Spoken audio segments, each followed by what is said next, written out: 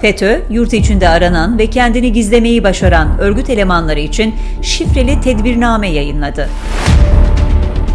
Şifreli belgeyi Aydınlık Gazetesi ortaya çıkardı. Şifreleri bilenlerin anlayabildiği tedbirnamede gizli evler için pansiyon, aranan FETÖ'cüler için raporlu, yapılmaması gerekenler için de yasaklı meyve kavramlarının kullanıldığı tespit edildi. Şifreli tedbirnameyi FETÖ'nün üst yöneticileri olan Molla imamlarla bilişim uzmanları birlikte hazırladı.